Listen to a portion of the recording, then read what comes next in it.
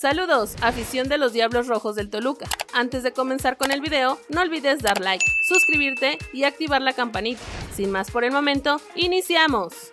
Jan Meneses es opción para llegar a Tigres. Sacrificarán a dos extranjeros. Tigres está en el armado del plantel para la apertura 2023 y ya tienen en el radar los elementos que podrían llegar este verano, donde una de las opciones es Jan Meneses, que pertenece a Toluca. Una fuente al interior del club confirmó a medio tiempo que en el radar está el volante chileno, ya que es la posición que quiere el entrenador Robert Dante Siboldi para reforzar el equipo. La principal posición que el entrenador uruguayo quiere reforzar es la de extremo, un jugador que juegue por las bandas y con Luis Quiñones y Diego Lainés, y Meneses es de los conocidos de la Liga MX. En el club necesitan sacrificar un elemento extranjero para cumplir con la reducción de extranjero y tendrían que sumar uno más para poder fichar un refuerzo en EFM, y por quienes escuchan ofertas, por ahora, es Igor Liknovsky y Nicolás López. Uno de los que parecía sacrificado es Rafael Carioca, quien termina contrato en junio, pero está cerca de renovar su vínculo con el conjunto de la UANL. Por otro lado, el nuevo pretendiente que tiene Pedro Aquino rumbo a la apertura 2023. El equipo de las Águilas del América continúa planeando lo que será el torneo Apertura 2023. El conjunto azul crema se encuentra atravesando un momento complicado,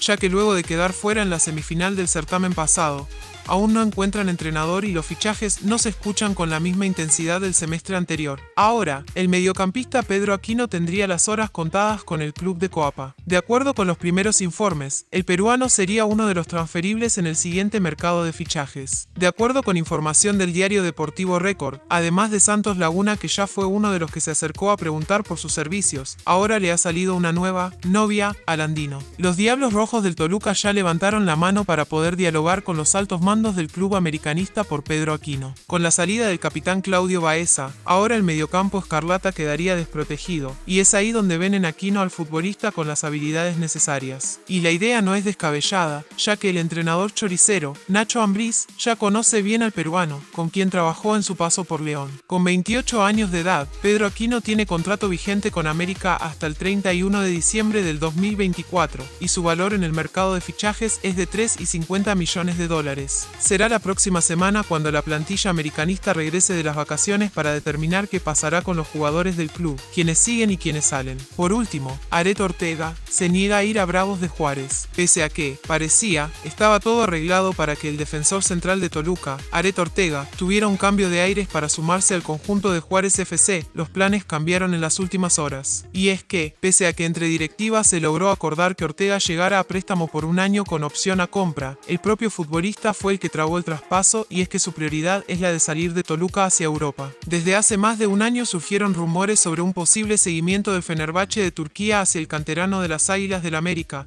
sin embargo, si alguna vez hubo interés de este club por el zaguero, jamás se dio un acercamiento formal y concreto con la directiva escarlata. En el más reciente torneo, el nacido en Iguala, Guerrero no sumó participación con el primer equipo de los Diablos Rojos, derivado de una lesión que sufrió en febrero pasado. Sin embargo, en seis torneos con los escarlatas, ya suma 50 compromisos oficiales, en los cuales ha logrado cuatro anotaciones.